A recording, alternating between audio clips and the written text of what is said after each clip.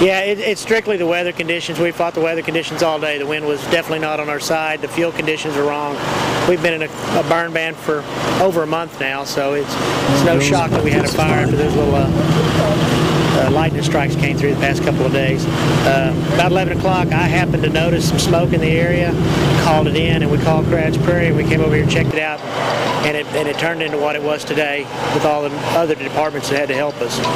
And uh, we've got it contained at this time, and uh, we'll be back out tomorrow see what we can do about mop up. How many departments out here total about?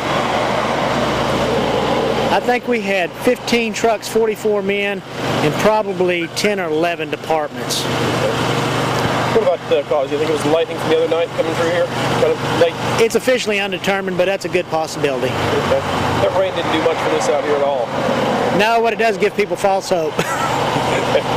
it just does.